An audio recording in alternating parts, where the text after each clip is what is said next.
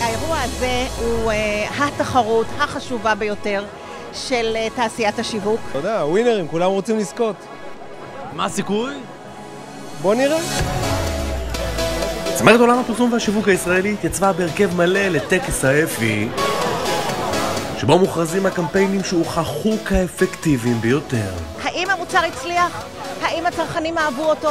האם הם קנו אותו? יש כאן מבחן אמיתי, מבחן האפקטיביות. תחרות ה Effie מהווה אה, בעצם grand finale של המהלכים האפקטיביים ביותר. אתה מקבל כאן פרס על עשייה שיווקית אמיתית, על עשייה עסקית, על משהו שהתוצאות ברורות. מבחן התוצאה זה בדיוק ה Effie.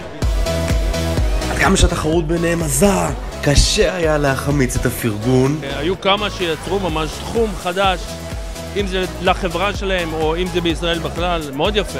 ולהסכים שהזירה עוברת שינויים טקטוניים, לא פחות. יש היום הרבה מאוד רעש, הרבה יותר קשה לספר סיפור, ולספר סיפור מותג ב-160 תווים זה צריכה להיות התמחות מאוד מאוד מאוד מאוד גדולה. אז יאללה, בואו נתחיל לחלק פרסים. אפי 2018 יוצאים לדרך.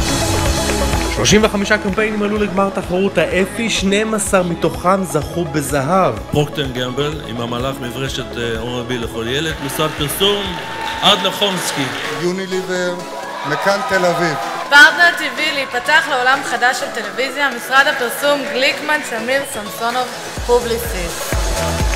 בזה אחר זה הוכרזו הקמפיינים האפקטיביים ביותר. בנק מזרחי טפחות עם המהלך המחאה שהפך את מזרחי טפחות לבנק המועדף בישראל עם ראובני פרידן. סלקום עם המהלך סלקום TV, משרד הפרסום, גיטם BBDO. כל הכבוד. לשופטים נודע לנו היה קשה השנה יותר מבעבר להכריע. היו לנו עשר חברות שעלו לגמר, בדרך כלל עולות פחות, התחרות הייתה קשה.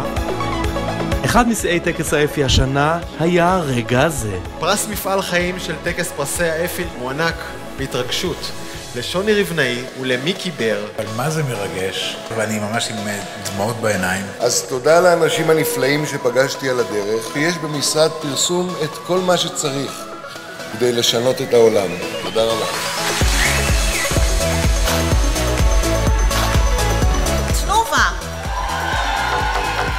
עם המהלך למקומות היכון גו מפעל הפיס עם המהלך הלוטו עם כל כך הרבה מיליונרים חדשים. בואו לבמה קבלו פרס.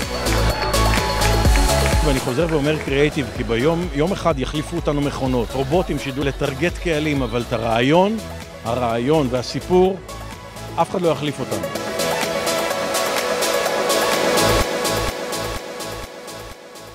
אני איתי רפופורט, אלה אולפני החדשות שלנו. מכאן אנחנו מפיקים בגאווה גדולה, צריך לומר, מאז 2006, משדרי חדשות פרטיים לחברות הגדולות בישראל.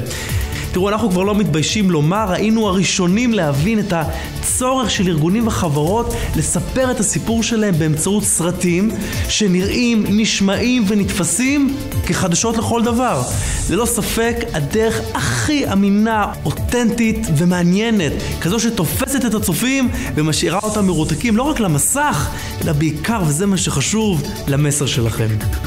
אני מזמין אתכם לצלול אל תוך האתר שלנו ולהתרשם ממשדרי חדשות מכל הסוגים, פנים ארגוניים, שיווקיים, לקהלי יעד ממוקדים, או אפילו לכלל הציבור.